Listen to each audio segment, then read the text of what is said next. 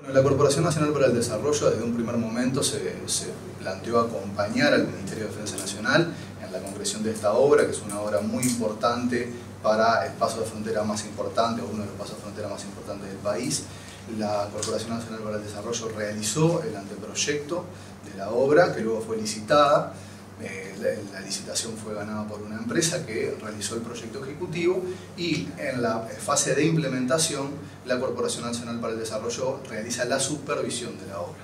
La supervisión justamente de la obra, ¿usted la están considerando positiva?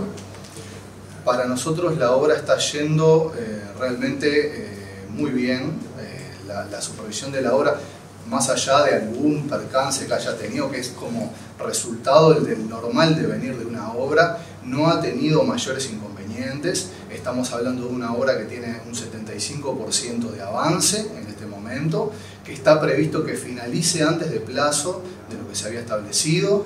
Este, así que nosotros, que está dentro del, del costo que se había estipulado, incluso un poco por debajo del costo que se había estipulado, nosotros en este momento la verdad que estamos muy satisfechos con el, con el devenir de la, de la obra. ¿100% obra nacional?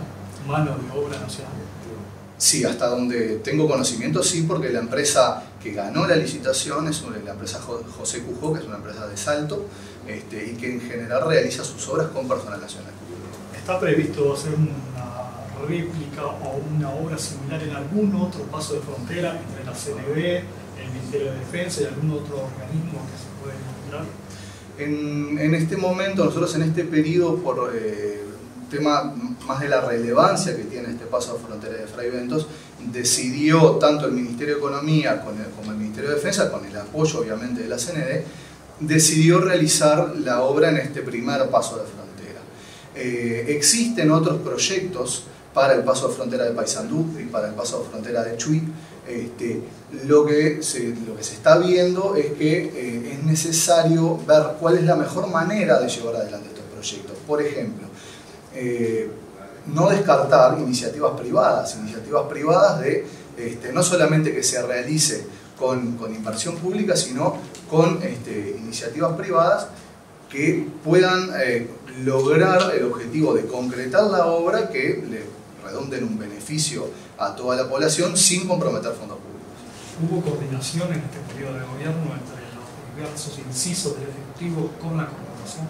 Sí, realmente sí, fue muy buena.